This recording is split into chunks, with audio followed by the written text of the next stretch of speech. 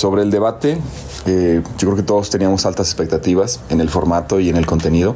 Considero que en los próximos pues es necesario mejorar para obtener mejores eh, resultados y, conocimiento. Primero, el formato del debate y los detalles técnicos. Hubo varios errores que pues será necesario corregir. Segundo, solo hay dos proyectos con posibilidades y un tercero de sobra que deberían delimitar su participación.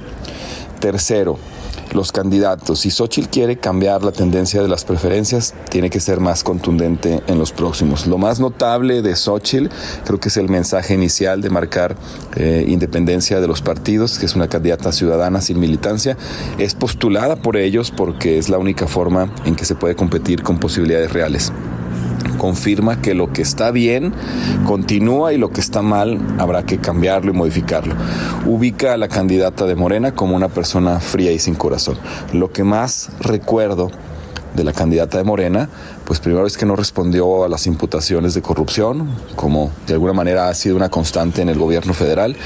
Por otro lado, el intento constante de vincular a Xochitl como candidata de ciertos partidos para vincular o cargar los negativos de dichos partidos y bueno, que no propuso eh, instituciones independientes para combatir la corrupción.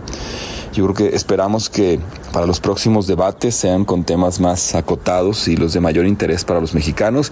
Y en el caso del formato, pues es escuchar y contrastar, hacerlos más entretenidos, que haya intercambio de ideas y por supuesto debatirlos. Vamos a entrar ya en la segunda etapa o en el segundo mes de campaña y esperamos se intensifiquen estas para convencer a los indecisos y que la participación ciudadana pueda ser histórica.